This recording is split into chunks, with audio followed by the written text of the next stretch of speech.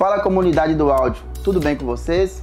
Olha a mais nova novidade da som de voz, mesa amplificada de 16 canais. Vou mostrar para vocês aqui algumas características dela.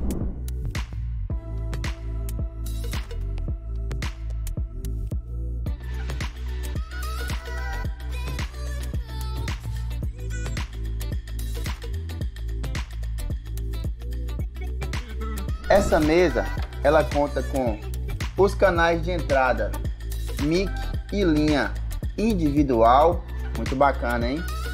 Tem aqui, ó, botão ganho individual em todos os canais e lembrando que ela é 16 canais de entrada mono, isso é muito bacana, hein? Conta com equalizador de três bandas, agudo, médio e grave ela tem um envio de efeito individual em cada um dos canais de entrada. Então você dosa o quanto você quer enviar de efeito em cada um canal de entrada sem que afete o outro canal. Tem também aqui ó, o knob para envio de panorama, caso você queira utilizar dois canais fazendo um canal estéreo.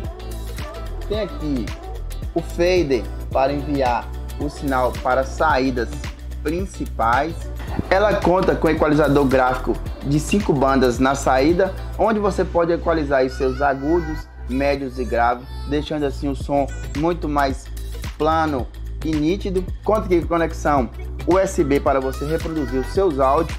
Ela também tem a função Bluetooth, isso é muito bacana. E a sua máquina de efeito vem com recursos muito top, tá? Onde você consegue determinar o tempo do seu delay, o tamanho do reverb, ela conta também com uma saída auxiliar e o mais bacana, é uma mesa amplificada que tem 500 watts reais de potência, sendo 250 watts para a saída L e 250 watts para a saída R.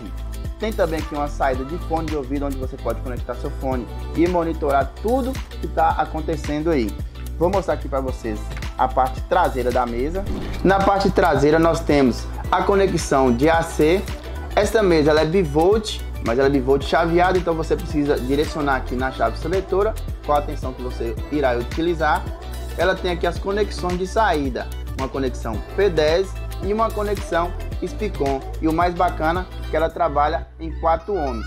É isso, galera. Ficamos por aqui. Esse foi mais um lançamento da Som de Voz. E não se esqueça de se inscrever no nosso canal, curtam, compartilhem, ative o sininho para receber notificações e até o próximo vídeo.